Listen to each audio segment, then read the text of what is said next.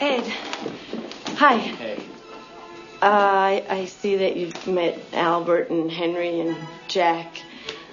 I'd like you to meet my friend Billy. Hi, Ed. Hey, Bill. What do you do? What do I do? Well, kind of depends on the circumstances, Ed. Oh, yeah?